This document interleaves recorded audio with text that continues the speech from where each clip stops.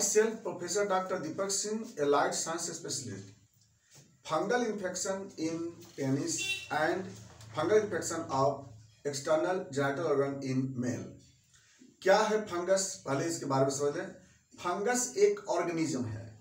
एक living organism है, जो कि हमारे बॉडी पे, खास करके स्किन पर अटैक करके और वहाँ पर इरप्शन प्रोड्यूस करता है और कई तरह के यहाँ पे सिम्टम प्रोड्यूस करते हैं।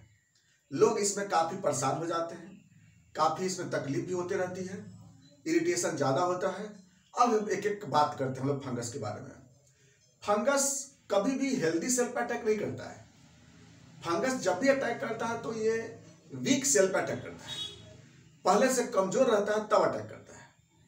या तो एक से स्वेटिंग के कारण, या फिर गलत तरह के सोप यूज़ करने के कारण, या फिर नाइलॉन क्लॉथ यूज़ करने के कारण या इम्यूनिटी वीक होने के कारण डायबिटी मिलाइटिस की वजह से इम्यूनोसप्रेसिव ड्रग्स के कारण, ऐसे बहुत सारे अनेक कारण होते हैं जिसके कारण फंगस अटैक करता है। आया कहाँ से? एक पर्सन से दूसरे पर्सन में। या तो स्किन कंटेक्ट हुआ क्लॉथ कंटेक्ट हुआ, या फिर कोई सेक्सुअल कंटामिनेशन हुआ। तब यहाँ से ये फंगस जो होता है। चला आता है आइए बात करते हैं हम लोग जेनाइटल फंगस में। जेनाइटल में तीन वेराइटीज के फंगस होते हैं। याद रखना बड़ी गौर से जेनाइटल में तीन वेराइटीज के फंगस अटैक करता है। सबसे पहले हम लोग बात करेंगे जो सबसे कॉमनेस्ट जो पेशेंट ज़्यादा फ़ोन करते हैं, उस पर ज़्यादा ध्यान देते हैं। सबसे पहले जो अटैक होता है जो अंदर वाले एरिया में, यहाँ पे। ये जो एरिया बता रहे अंदर का, इस एरिया में ज़्यादा अटैक होता है जिसको हम लोग बोलते हैं कैंडिडियसिस बोलते हैं। कैंडिडियसिस कैंडिडियसिस है ना? कैंडिडियसिस कैंडिडा अल्बिकेंस एक फंगस है। और ये कैंडिडा अल्बिकेंस क्या अटैक हो जाता है किस पे? ग्लांस पेनिस वाले इस एरिया पे। और चूँकि ये व्हाइट कलर का एक पैच बनाता है, इसलिए इसको हम बोलते हैं पेनिस थ्रस ही बोलते हैं। पेनिस थ्रस है ना? कैंडिडा अल्बिकेंस है ना? कैंडिडा अल्बिकेंस ये बहुत कॉमनेस्ट है, जो कि ऑर्गन पर अटैक करता है। एक इन्फेक्टेड पर्सन के साथ सेक्सुअल इंटरकोर्स करने के कारण या किसी क्लॉथ के कंटेक्ट होने के कारण यह स्किन पे चला आता है। आने के बाद अगर हम थोड़ा स्किन को हटा दें, अगर बाई ऊपर से तो आपको यहाँ पे पूरा का पूरा व्हाइट पैच मिलते हैं। व्हाइट कलर का। अब हम बात ये करते हैं इसमें, क्या बात करें कि इसका होने का फैक्टर क्या है? जो पेशेंट डायबिटिक मेलाइटस के होते हैं, जो इम्यूनोसप्रेसिव ड्रग्स यूज़ करते हैं जिनका इम्यूनिटी कमज़ोर होता है, जो हाइजीन मेंटेन नहीं करते हैं, जो, जिसमें कॉर्टिसोल ओवर यूज़ करते हैं, या फिर और भी किसी और कारण से, इन लोगों को कैंडिडा अल्बिकेस ज़्यादा अटैक करता है। और ये कैंडिडा अल्बिकेस आने के बाद यहाँ पर व्हाइट कलर के एक पैच बनाते हैं, क्योंकि इस कैंडिडा अल्बिकेस से जो इंजाइम बनता है ना फंगस से, वह यहाँ के सेल को डैमेज करता है। डैमेज करने का वहाँ पर व्हाइट कलर का एक लेयर बनाता है, जिसको हम ल्यूकोप्लेकिया के नाम से भी जानते हैं। पेनिस ल्यूकोप्लेकिया भी बोलते हैं पेनिस थ्रसी बोलते हैं। अब ऐसा पेशेंट बहुत ज़्यादा मिलता है, काफ़ी मात्रा मिलते हैं। सिम्टम इसमें क्या मिलेगा आपको? कैंडिलाबी केस में इरिटेशन होता है पेन भी होता है, कुछ ना कुछ डिस्चार्ज भी होते रहते हैं वाइट वाइट कलर के डिस्चार्ज होते हैं। फिर उसके बाद जो स्किन होता है, उसको मूवमेंट होने में दिक्कत होगी। सेक्सुअल इंटरकोर्स में दिक्कत होगा। इसमें स्वेलिंग हो जाता है इसमें। और ये सब डिजॉर्डर्स कॉमनेस्ट मिलता है। इचिंग भी देखने को मिलता है इसमें। तो पहला नंबर पे था कैंडिडा कैंडिडियसिस ट्रीटमेंट हम लोग एक साथ चलते हैं। पहले दूसरा फंगस देख लेते हैं। दूसरा फंगस होता है जो स्किन पे सिर्फ़ होता है यहाँ पे। सिर्फ़ ओनली स्किन पर। इसको बोलते हैं हम लोग tinea dermatophyte tinea dermatophyte dermatophyte या इसको बोलते हैं रिंग वर्म बोलते हैं।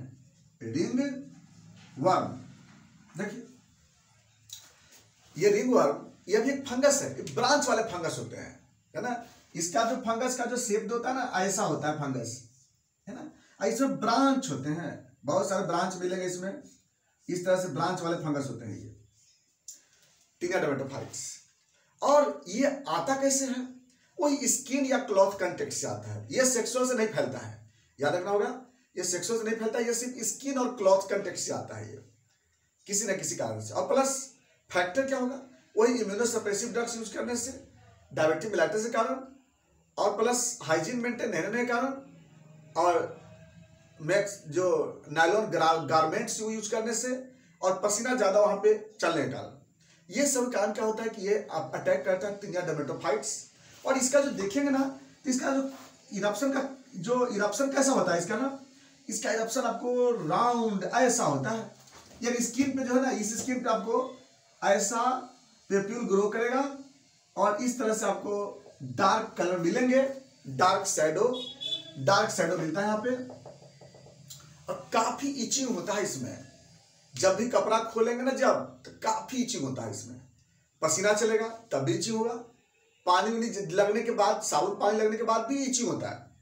तो काफ़ी इचिंग होता है, ये इसको क्या बोलते हैं? रिंगवर्म बोलते हैं। अब दो नंबर तो देख लिया हम लोग। अब आते हैं नंबर थर्ड एस्परजिलस है ना?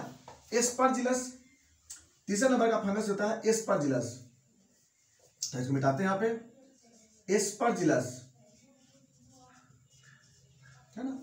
एस्परजिलस इस ग्रुप्स का फंगस होता है ये एस्परजिलस ग्रुप्स का, ये जो फंगस होता है ना, ये दोनों पर अटैक करता है। स्किन पे भी अटैक करेगा और ग्लास पेरिस पे भी अटैक करेगा। दो जगह याद रखना होगा, ये दो तरफ़ अटैक करता है एस्परजिलस दोनों तरफ़ से। अब स्पर्जिलस ये भी एक प्रकार फंगस है, ये अटैक कैसे करता है ये? वही सेक्सुअल कंटामिनेशन से ज़्यादा अटैक करता है, या क्लॉथ से अटैक करता है ज़्यादा। गलत क्लॉथ किसी का कंटामिनेटेड क्लॉथ यूज़ कर लिए, तब ऐसा हो सकता है। थर्ड, हाइजीन वीक होने के कारण भी स्पर्जिलस अटैक होता है। इसका इसका करेक्टर कैसा होता है? इसका करेक्टर, इसमें जब अटैक करता है स्पर्जिलस ना तो यहाँ पर छोटे छोटे राउंड राउंड पीला कलर का, पीला कलर का क्या होगा ना यहाँ पे? इरप्शन डेवलप होते हैं छोटे छोटे स्मॉल स्मॉल येलो कलर के जो होता है ना छोटा छोटा पीला आपको यहाँ पर इरप्शन मिलेगा आपको। और सेम ऐसा ही यहाँ भी मिलता है, अंदर में। ग्लास पे देखेंगे ना, यहाँ भी आपको छोटे छोटे इरप्शन मिलेंगे। किसमें? स्पर्जिलस के केस में। और ये काफ़ी दर्द होता है इसमें। पेनफुल भी होता है ये। इसमें कभी कभी इचिंग भी होते हैं। इस एरिया में पूरा स्वेलिंग नज़र आएगी सेकेंडरी इन्फेक्शन का चांस बनता है इसमें। सेक्सुअल इंटरकोर्स के समय भी दर्द होता है। यह भी फैलता है बहुत ज़्यादा तेज़ी से। और ये जो स्पर्जिलस है, इसके कारण सेकेंडरी इन्फेक्शन की चांस बनता है, वहाँ पे पस दूसरा बैक्टीरिया आकर के आप पस बना सकता है। बैक्टीरिया को अटैक करवाता है ये। अब इस, अब हम लोग बात करते हैं, ये तो देख लिए, हम लोग इसके तीन फंगस देख लिए। एक देख लिए कैंडिडाल बिकेंस जो कि सिर्फ़ ग्लास पेस पे करता है। दूसरा डर्मेटोफाइट्स जो कि स्किन पे करता है। और तीसरा एस्पजिलस जो स्किन और ग्लास पेनिस दोनों पे करता है। बात करते हैं इसके इन्वेस्टिगेशन पे। इसको हम पता कैसे लगाएँगे? इसके लिए हम क्या करते हैं कि डायरेक्ट माइक्रोस्कोपिक एग्जामिनेशन देखते हैं। माइक्रोस्कोप पे डायरेक्ट स्वाब को लेकर के और वो देख सकते हैं जैसे जैसे हम सेप बताए थे ना फंगस का, वैसा वैसा फंगस मिलता है। नंबर टू इस स्वाब को हम कल्चर करके भी देख सकते हैं। न्यूट्रिएंट अगर पे कोई मीडिया आता है, उसमें आप लोग को नहीं मालूम होगा इसके बारे में, उस पर डाल करके क्या करते हैं इसको लोग? ग्रोथ करा करके भी देख सकते हैं। माइक्रोस्कोपिक सबसे इंपॉर्टेंट है। बाकी तो क्लिनिकल डायग्नोसिस है इसके लिए। नेक्स्ट आते हैं इसका हम लोग मैनेजमेंट हम इसको कैसे मैनेजमेंट करते हैं? सबसे बड़ा चीज़ मैनेजमेंट है और कैसे ठीक करेंगे? देखिए, सबसे पहली बात है, पहला काम तो ये करना होगा कि प्रॉपर इसको वॉश करना है। जेनाइटल ऑर्गन को जब भी वॉश करते हैं तो एसिडिक सोप यूज़ करते हैं। एसिडिक सोप जो भी एसिडिक सोप होता है, जब साबुन खरीदते हैं ना तो उसका पीएच देख लीजिए कि साबुन का पीएच कितना होता है। तो जिसका पीएच एसिडिक होता है सेवन से कम है वो एसिडिक पीएच बोलते हैं। उस साबुन को यूज़ करना चाहिए बाथिंग के लिए, स्नान करने के लिए। तो पहला तो हम लोग प्रॉपर वॉश करेंगे। दूसरा, जो नायलॉन क्लॉथ होता है, उसको हम लोग प्रॉपर अवॉइड करेंगे। पसीना जब चले, उसको हम लोग क्या करें ड्राइनेस की बात करते हैं। हर समय क्या करते हैं टाइट क्लॉथ यूज़ नहीं करते हैं। पहला तो ये काम कर लेंगे।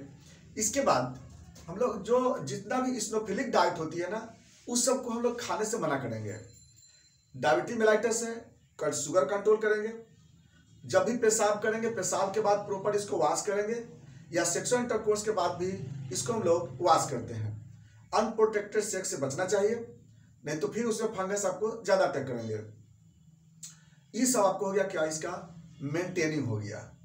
इसके बाद अब बात करते हैं इसको वॉश करने के लिए। एंटी फंगल एजेंट यूज़ करेंगे हम लोग।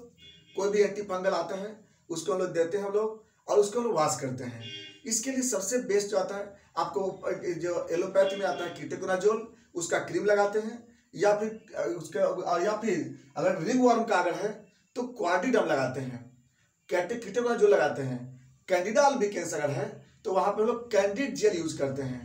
कैंडिड जेल कैंडिड पाउडर वह यूज़ करते हैं कैंडिडा के लिए। बात करते हैं इसमें होम्योपैथी मेडिसिन के बारे में। इसमें क्या करते हैं, अगर सपोज़ दैट अगर रिंगवर्म का केस अगर होता है तो वहाँ पे हम लोग क्रियोजोट यूज़ करते हैं। या फिर फॉस्फो, या पेट्रोलियम यूज़ करते हैं। अगर बाई दिन वहाँ पर कैंडिडाल भी केस अगर है तो वहाँ पे हम लोग बोरेक्स यूज़ करते हैं, मार्क्सोल यूज़ करते हैं, बहुत इंपॉर्टेंट होता है। और all in all Echinacea mother tincture को, एजाडिका इंडिका मदर टीचर को, या कैलेंडला मदर टीचर को, तीनों का मिक्स कर करके और हम लोग जेनाइटल ऑर्गन को सुबह शाम वाश करते हैं। याद रखिए क्या क्या बोल रहे हैं? Echinacea mother tincture Calendula mother tincture एजाडिका indica mother tincture तीनों का सोल्यूशन को मिक्स कर करके और इसको वाश करते हैं। इससे आपका फंगस जो होता है आपका रिमूव हो जाएगी। मेडिसिन खाने के बता दिया आपको हम, एस्पर ज़िले से अगर अटैक है तो वहाँ पे लोग बेलाडोना मक्सल पेट्रोलियम क्रियोजोट ये सब मेडिसिन को वहाँ पर प्रेफर करते हैं। मेडिसिन जो हम बोल रहे हैं, या मेडिसिन ज़रूर लेना होगा। इसको हम पोटेंसी में देते हैं दवा को थर्टी में या टू हंड्रेड में, जो मिले उसको दे देते हैं दवा। ये आपका फंगल इन्फेक्शन था। अगर इसमें किसी तरह का क्वेश्चन होगा, आप क्वेश्चन ज़रूर करेंगे। याद रखिएगा, जब भी हमसे आप कांटेक्ट करेंगे तो इवनिंग टाइम ही कांटेक्ट करते हैं। छः बजे से लेकर के और आठ बजे के बीच ही आप कांटेक्ट करेंगे। उसी समय हम ऑनलाइन पेशेंट देखते हैं। बाकी समय हम लेक्चर लेते हैं या फिर हम लोग ऑफलाइन मरीज़ देखते हैं। तो बाकी बातें चलेंगे नेक्स्ट वीडियो में। Thanks for watching